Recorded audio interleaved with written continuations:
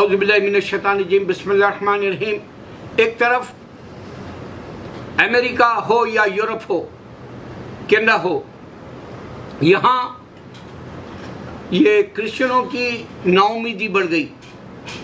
इस कदर के आप अंदाज़ा नहीं कर सकते कि वो लोग चर्चों में आना बंद कर दिए। ये माजरा आपको यूरोप में मिलेगा। आँखों देखा हाल जैसा आप वीडियो कैमरे से चेक कर सकते हैं। कई क्रिश्चियंस जो है कहा कि लोग लंदन इंग्लैंड में आना बंद कर दिए। चर्च सारे बंद हो गए और काफ़ी चर्चों को मुसलमानों ने अमेरिका में ख़रीद कर मस्जिद बना दी। यहाँ का पास्टर ने कहा। तो इस तरह से एक तरफ़ क्रिश्चियनिटी का खात्मा हो गया।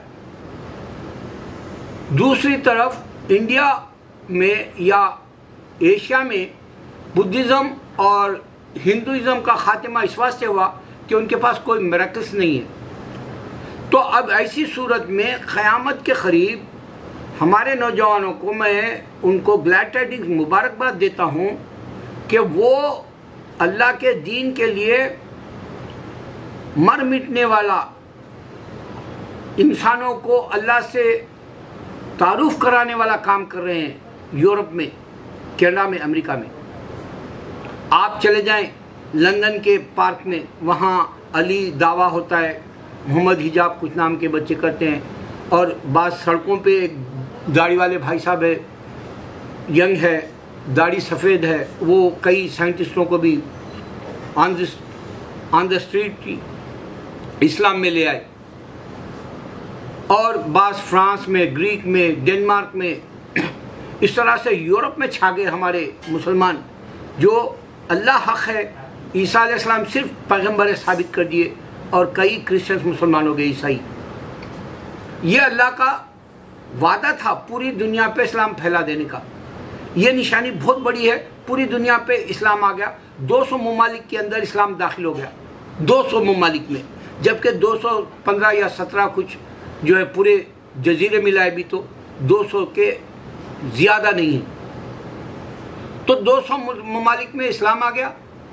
यूरोप के अंदर नौजवान बच्चे सड़कों पे भी नमाज़ पढ़ के दावत दे रहे और यूरोप में और अमेरिका और कनाडा में जो है बाहर जाके उन लोगों को कुरान सुना रहे उसमें एक मैं ऐसा वीडियो देखा, एक लड़की है, पता नहीं कौन सा लैंग्वेज की थी, वो कौन सा कंट्री था यूरोप का। लड़का इजाजुल्ला बिस्मिल्लाह ये सूरा सुनाया। वो बच्ची ज़ारो ख़तर रोई। फिर उसने कहा कि ये कुरान है। उसका ट्रांसलेशन देखा मैं। उसकी जो लैंग्वेज है उस बच्ची जो रोते हुए की, ये कुरान है, मुझे मालूम है। उसके साथ की सहेली पूछा, तू फिर रो रही क्यों?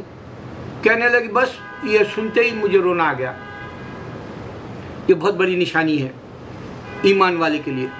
अब मैं एथियस और एग्नोस्टिक्स के लिए कह रहा हूँ, जो नौजवान अमेरिका में है, एक लड़का है प्रॉफिट नाम से वीडियो बनाता और वो इस्लाम के ख़िलाफ़ बोलना चाहता। लेकिन उसके पास एक ऐसी बेहतरीन बात है, अल्लाह करे कि सिर्फ़ थोड़ी सी बात समझ ले वो, अल्लाह को। वो ये कि उन्हें एथियस है, सिर्फ़ यही बोलता, किसी और मज़हब का नहीं करता ज़िक्र। कहता, अल्लाह रहमान रहीम करीम है बोरा तो फिर जहनुम में क्यों डाल रहा सबको? भाई, ये बात तो मैं भी बचपन में सोचा, हाल के वीडियो में भी कहा, तुम एक गोरख धंधा हो करके। लेकिन अल्लाह ने बहुत मौके दिए मुसलमान को। ये कहा कि तुम जो भी दुआ करोगे, अल्लाह ताला तुम्हारी जो है वहाँ पर कबूल करेगा। आप हशर के मैदान में कहो अल्लाह, मैं सारी इंसानियत को जन्नत में भेजना चाहता हूँ। जब मैं एक इंसान हूँ तुझसे माँगता हूँ कि सारे इंसानों को जहनुम में मत डाल, जिन्नात को मत डाल। तो अल्लाह तुम्हारी दुआ का भरम रखेगा माँ। जाके देखना है।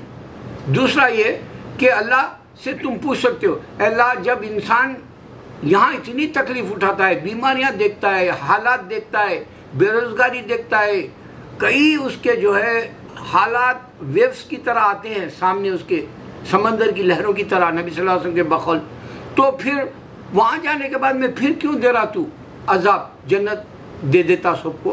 दो से जो है हमको जो है खारिज कर देता, निकाल देता, बहाल कर देता हमारी ज़िंदगी।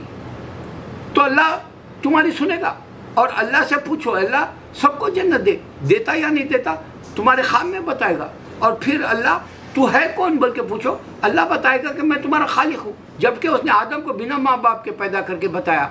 और फिर जो है, हवा को बिना माँ के पैदा करके बताया, ईसा सलाम को बिना बाप के पैदा करके बताया, जिस तरह से अंगूर में दाना होता है, बीज होता है सीड होता है, उसी तरह बेदाने का अंगूर भी होता है। यही वो कुदरत है उसकी जो बगैर माँ बाप के पैदा कर सकता है, बगैर माँ के पैदा कर सकता है, बगैर बाप के पैदा कर सकता है। ये फलों में भी अभी तक तुमको ये निशानी दे रहा है, आदम अलैहिस्सलाम की, हवा अलैहिस्सलाम की, ईसा अलैहिस्सलाम की। तो पूछ सकते हैं, मेरा खुदा कौन है?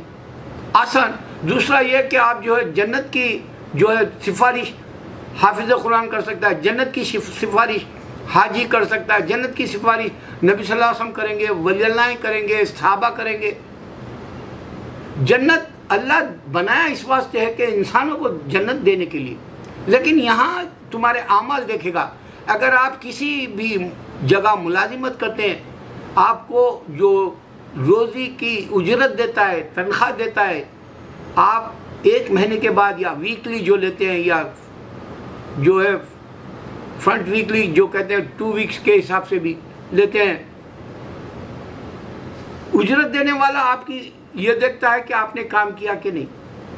आप बिना काम किए भी अगर उजरत लेना चाह रहे हैं तो इंडिया में भी आज भी यह है कि अगर कोई गवर्नमेंट सर्वेंट बीमार पड़ गया पाँच दस साल घर पर रहा बिस्तर पे, तब भी उसको जो है गवर्नमेंट उसका वजीफ़ा, उसको तनख्वाह की तरह देते हैं।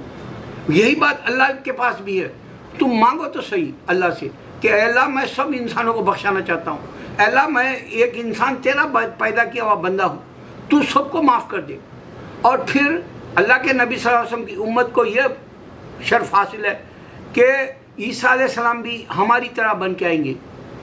इस वास्ते ये बहुत बड़ी उम्मत है, ये बहुत बड़ी दुआ कबूल करने की वाली चैलेंज की ये मज़हब है और यही मज़हब है जिसमें अल्लाह सीधा रास्ता दे बोल के कहते हैं, हम कामयाब है।